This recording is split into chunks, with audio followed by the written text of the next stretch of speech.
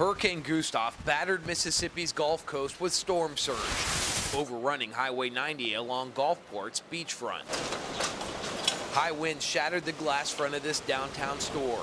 Most people and businesses were prepared with plywood and fared well. We was gonna go to the hotel once, then they were saying that it was full for Mississippi Power, and they have no more hotels. And the safest place to be with my me and my family is home, I think. A few people stayed behind and ignored warnings. Others left guards on duty. When dogs weren't defending the home, they were out trying to keep up with their owners who are paddling their way home. Along Mississippi's Gulf Coast, most people are thankful that Gustav didn't cause as much damage as expected.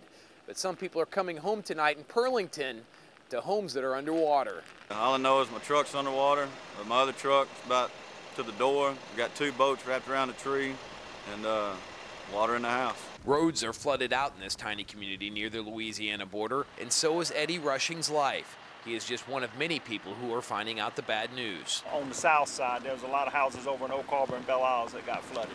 On the uh, on the uh, north side of the highway, like I say, if you was off the ground, I think you was you're in, you're in good shape. The folks in Mississippi survived Gustav's blowing winds. Now they are left with high water and power outages to contend with. Mark Carlson, The Associated Press, Pearlington, Mississippi.